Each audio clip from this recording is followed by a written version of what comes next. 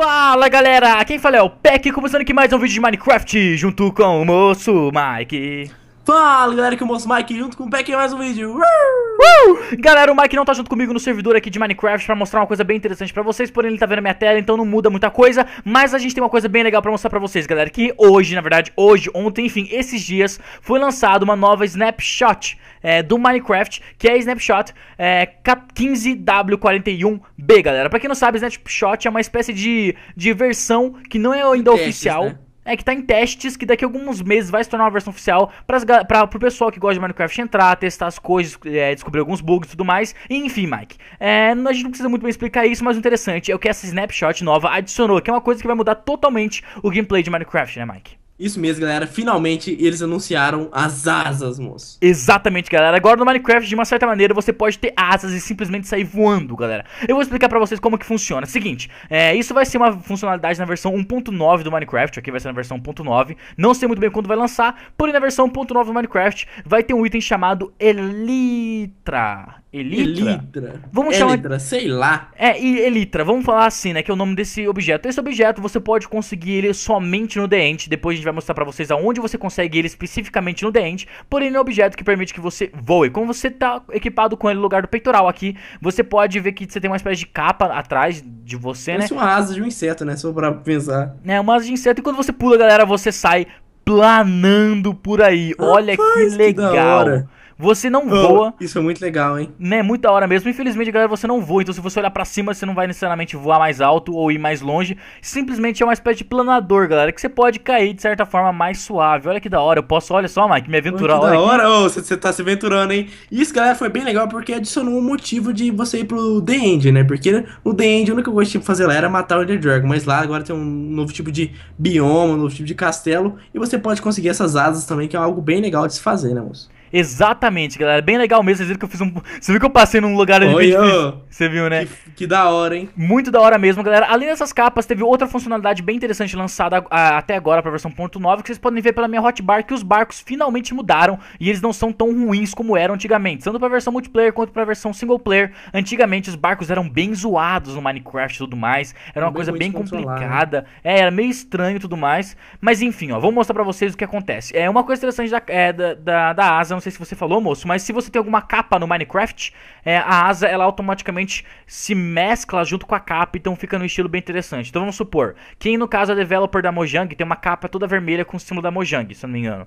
Daí se Sim. você no caso tem essa capa, ah, a sua asa vai ficar toda vermelha e vai ter um símbolo da Mojang espalhado e tudo mais pra dar um ficar uma coisa mais interessante, como se realmente sua capa virasse a asa, né, moço? É, isso é legal, mas eu não gostei muito porque não dá pra personalizar ela ainda, né? Talvez ele adicione isso, mas seria legal se você mudasse ela de cor, essas coisas, adicionar símbolos nela e ficar maneiro. Lembrando também, galera, que a 1.9 aí tá pra vir como uma nova versão do Minecraft que vai realmente formular- reformular várias coisas do Minecraft. É, esse vídeo não é simplesmente pra mostrar essas coisas, porque muitas das coisas que vão ser adicionadas na versão 1.9 vocês já sabem, mas vamos dar uma passadinha por elas bem de forma bem rápida antes de mostrar os barcos, ok? Pra quem não sabe, na versão 1.9 você vai ter novos itens de combate, você vai ter algumas flechas que modificam algumas coisas. Escudo, né? Você vai ter um escudo, galera, que você pode utilizar aí na lateral pra se proteger de ataque de inimigos. Olha que da hora você segurando o escudo, é bem legal mesmo É da hora mesmo, hein? né? O The End foi totalmente reformulado e agora ele realmente tem um propósito, que nem o Mike falou. Ah, você tem umas vilas malucas é, no The End, que são espécies de construções e castelos gigantescos, mobs, né? né? né? Mobs novos, ah, frutas novas que podem fazer coisas novas, enfim, uma infinidade de coisas, é, além, enfim, que mudam bastante o Minecraft. Mas agora nessa nova versão aí, nessa nova atualização dessa nova versão, ah, eles trouxeram também os barcos, galera. O que, que mudou nos barcos, Mike? Primeira coisa que mudou nos barcos é o crafting deles, ok? Então vou mostrar Hum, agora. Antigamente, moço, pra você fazer o crafting de um barco, você lembra como que fazia? Eu lembro, você tinha que fazer tipo um U com madeira, né? É, Era exatamente, ó. Opa, eu fiz errado aqui. assim. É assim, porém assim não funciona mais, galera. Por quê? O crafting é bem parecido com isso, é exatamente igual antigamente, porém você tem que colocar agora uma madeira, uma pá, na verdade, na frente, galera, no meio ali, no, no, U, só. né? E daí É você pra fazer um tipo barco. remo, né?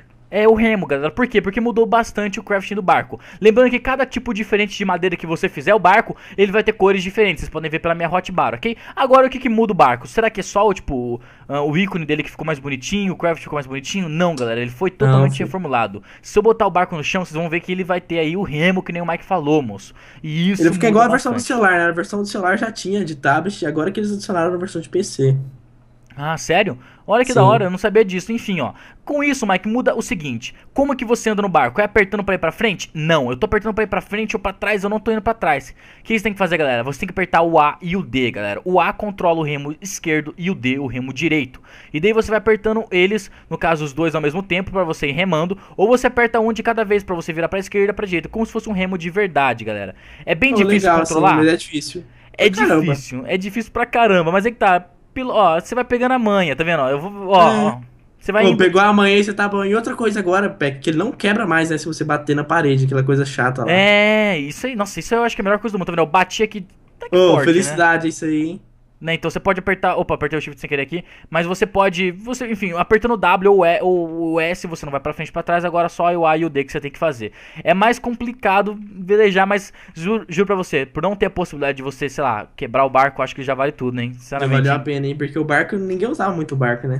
É, ele era muito bugado no multiplayer e tal, então com essa nova funcionalidade eles prometeram consertar essa questão de que o barco, ele não era uma coisa que você controlava muito bem. Ali ia pra esquerda, sendo que você nem tava andando ir pra esquerda, sabe? Era muito estranho. Né, Era meio, muito bugado, mas eles finalmente consertaram isso. Bom, galera, uma coisa interessante também é que você pode empurrar mobs pro seu barco, e dependendo do mob, você pode pô, entrar como se fosse um carona. Olha só que legal, tem um squid aqui Oh, legal, comigo. hein? Eu não sei se dá Podia- pra entrar duas pessoas no multiplayer, moço. A gente tentou entrar, criar um servidor aqui no multiplayer pra o Mike poder entrar, mas ele não conseguiu. Mas olha aí, fica aí a teoria. Será que dá pra duas pessoas agora entrarem num barquinho, moço? Sabe que seria hein? legal? O Squid aumentar a velocidade do barco, hein? É, é verdade, seria uma coisa bem interessante, né? Pra, pra fazer o Squid entrar num barco, basta, sei lá, spawnar o Squid e empurrar ele pro barco, que daí ele entra automaticamente, ok? Agora vamos então lá pro The End, mostrar pra vocês, galera, como vocês podem encontrar essa asa maluca aqui no Minecraft, como vocês podem ah, encontrar ela, e no caso, utilizar ela no seu futuro jogo na versão 1.9, né, moço? Bora lá então? Então vamos lá. Bom, galera, depois de muito tempo procurando, você vai encontrar uma espécie de construção, um templo, castelo maluco aqui no The End.